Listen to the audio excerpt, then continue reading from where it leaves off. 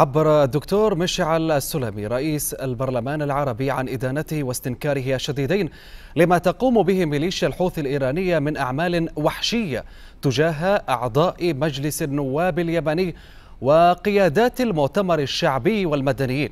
مبينا أن هذه الانتهاكات تكشف الوجه الحقيقي الإجرامي لتلك الميليشيات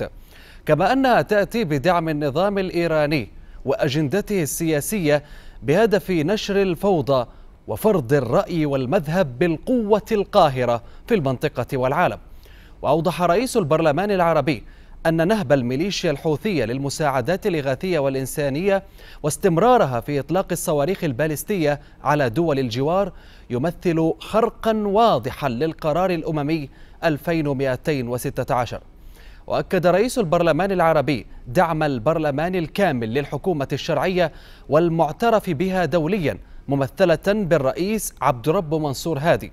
مثمنا جهود قوات التحالف العربي بقيادة المملكة لاستعادة الشرعية وكافة مؤسسات الدولة اليمنية ومقدراتها الحيوية وحماية الشعب اليمني.